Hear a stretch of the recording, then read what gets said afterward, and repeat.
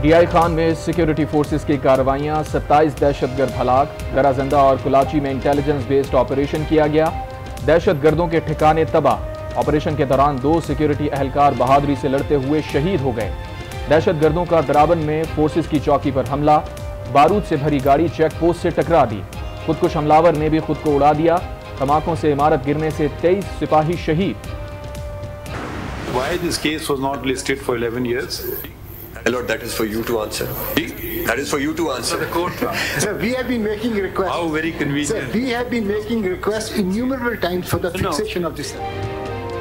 Chief justice کی طویل عرصے تک ذوالفقار علی بھٹو ریفرنس فکس نہ ہونے پر معذرت دوران سماعت ریمارکس میں کہا کہ آخری بار صدارتی ریفرنس دو ہزار بارہ میں سنا گیا افسوس ہے بدقسمتی سے ریفرنس اس کے بعد سنا ہی نہیں گیا اور زیر التوا رہا ریفرنس کی آئندہ سماعت روزانہ کی بنیاد پر ہوگی۔ سپریم کورٹ ریفرنس میں کوئی التوا قبول نہیں کرے گا۔ اٹارنی جنرل نے گیارہ سال سماعت نہ ہونے سے متعلق چیف جسٹس کے سوال پر کہا۔ ریفرنس سماعت کے لیے مقرر نہ ہونے کا جواب تو عدالت کو دینا چاہیے۔ ذوالفقار علی بھٹو کیس کی براہ راست سماعت جنوری کے دوسرے ہفتے تک ملتوی۔ سپریم کورٹ نے نو معاونین مقرر کیے۔ احمد رضا قصوری کی کیس کی سماعت الیکشن کے بعد کرنے کی اپیل۔ چیف جسٹس قاضی فائز عیسیٰ کی سماعت آگے بڑھانے سے معذرت۔ اعتزاز احسن نے ذوالفقار علی بھٹو صدارتی ریفرنس میں معاونت سے معذرت کر لی۔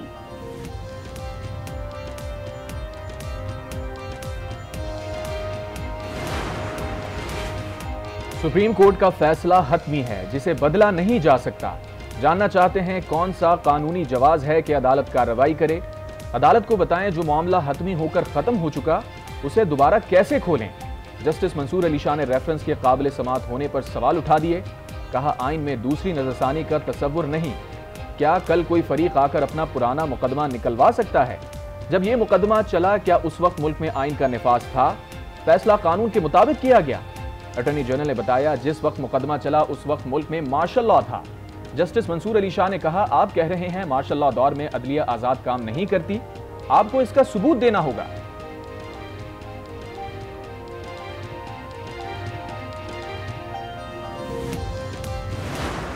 ضرور ہمیں قائد عوام سے ذوالفقار علی بھٹو کے لیے انصاف چاہیے۔ جو بھی موقف صدر پاکستان نے اپنا ریفرنس میں اٹھایا اس کیس کے بارے میں، ان کا سوال کا جواب ہمیں چاہیے۔ وہ جو آج تک داغ ہے، اس ادارہ پہ ہم چاہیں گے کہ اس کو ختم کیا جائے۔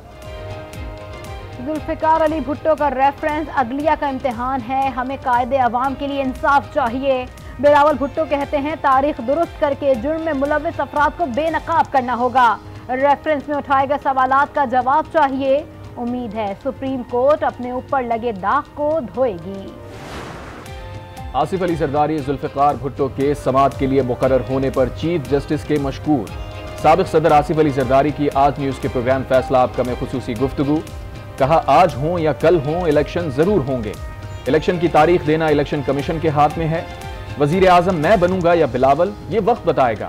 پیپلز پارٹی اپنا وزیر اعظم تو بنا سکتی ہے۔ میں نے ہی شہباز شریف کو نمبرز پورے کر کے دیے تھے۔ سربراہ پی ٹی آئی نے مجھے دوست کے ذریعے پیغام بھجوایا۔ کہا گیا، ہماری آدھی مدت آپ لے لیں۔ کبھی کبھی استعمال ہونے والے کو ہینڈلرز کا پتہ بھی نہیں ہوتا۔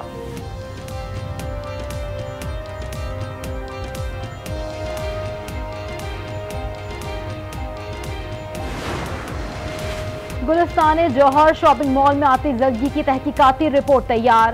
بلڈنگ کا مالک اور انتظامیہ نقصان کے ذمہ دار قرار۔ مال میں بجلی کے تاروں میں سپارک سے آگ لگی۔ عمارت میں ناقص الیکٹریکل مٹیریل اور فال سیلنگ سے آگ پھیلی۔ ہنگامی اخراج اور آرات نہ ہونے کے باعث زیادہ نقصان ہوا۔ کراچی میں غیر قانونی عمارتوں سے لوگوں کی جان کو خطرہ۔ ہر سال آتش زدگی کے واقعات میں سینکڑوں افراد اپنی جانیں گنوا دیتے ہیں۔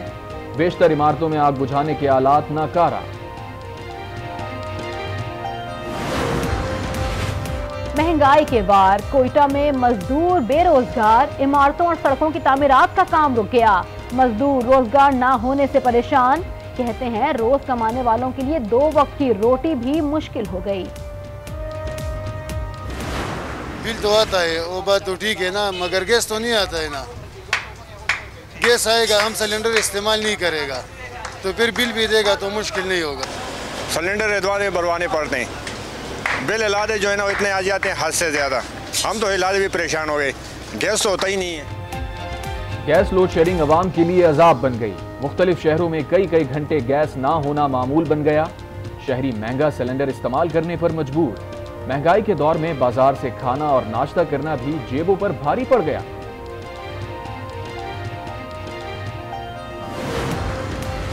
سندھ اور بلوچستان کے صارفین کے لیے گیس مزید مہنگے کرنے کی تیاریاں۔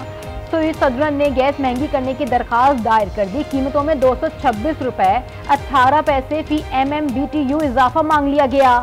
اوگرا نے درخواست پر اٹھارہ دسمبر کو سماعت کرنے کا کہا ہے۔ ذخیرہ اندوز مافیا ایک بار پھر سر اٹھا رہے ہیں۔ یوریا کھاد سے متعلق مصنوعی بحران پیدا کیا جا رہا ہے۔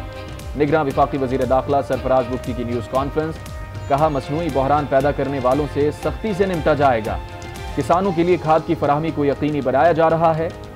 سیکرٹری صنعت و پیداوار محمد علی نے بتایا، ملک کی ضرورت کے مطابق کھاد درامد کر لی گئی ہے۔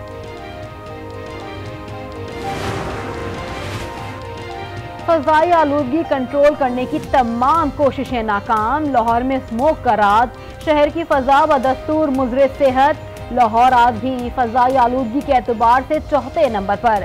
طبی ماہرین کا شہریوں کو ماسک کے استعمال کا مشورہ پنجاب کے مختلف علاقے دھند کی لپیٹ میں۔ حد نگاہ کم ہونے پر مختلف مقامات پر موٹر ویز ٹریفک کے لیے بند۔ Al Azizia steel mills reference, Nawaz Sharif کی سزا کے خلاف اپیل پر سماعت۔ چیف جسٹس اسلام آباد ہائی کورٹ عامر فاروق اور جسٹس میاں گل حسن اورنگزیب سماعت کر رہے ہیں۔ نواز شریف اپنی لیگل ٹیم کے ہمراہ عدالت میں پیش۔ امجد پرویز نے بے نامی مقدمات سے متعلق تیرہ عدالتی فیصلے پیش کیے۔ بانی پی ٹی آئی اور شاہ محمود قریشی پر سائفر کیس میں فرد جرم عائد نہ ہو سکی۔ خصوصی عدالت نے سائفر کیس کی سماعت کل صبح تک ملتوی کر دی۔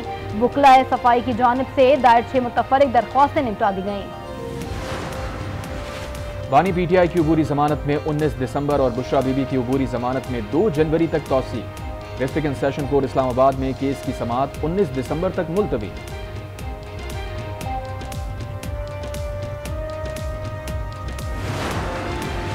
ترقیاتی منصوبوں میں اربوں روپے کی کرپشن کا کیس احتساب عدالت لاہور نے پرویز الہی سمیت دیگر کو طلبی کے نوٹسز جاری کر دیے۔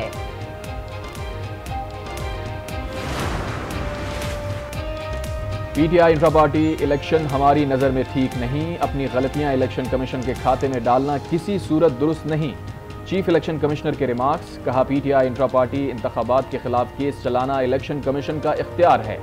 پی ٹی آئی پانچ سال میں انٹرا پارٹی انتخابات نہیں کرا سکی۔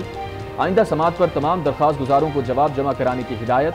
سماعت چودہ دسمبر تک ملتوی۔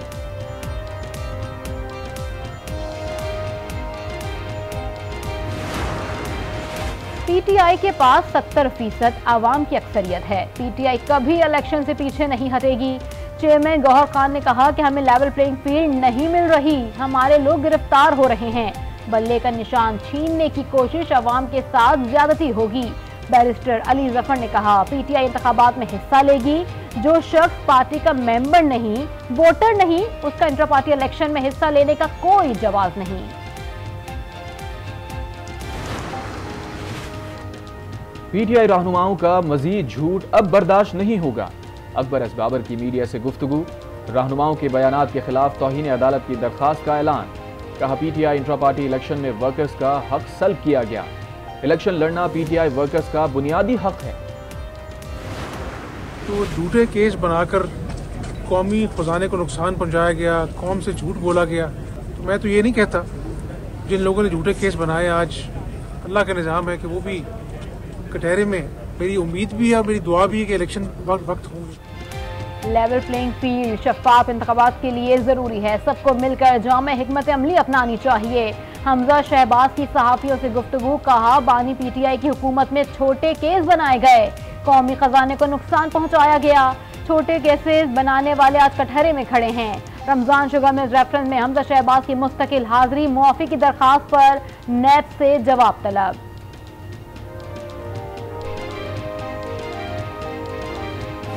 پاکستانی لیڈرز کے انتخاب میں ہمارا کوئی کردار نہیں۔ ہم پاکستانی عوام کی منتخب قیادت کے ساتھ بات چیت کرتے ہیں۔ ترجمان امریکی محکمہ خارجہ میتھیو میئر کی پریس بریفنگ کہا تمام معاملات پر حکومت پاکستان کے ساتھ بات چیت جاری رکھیں گے۔ افغانستان پاکستان کے درمیان مختلف مسائل کے سفارتی حل کی حمایت کرتے ہیں۔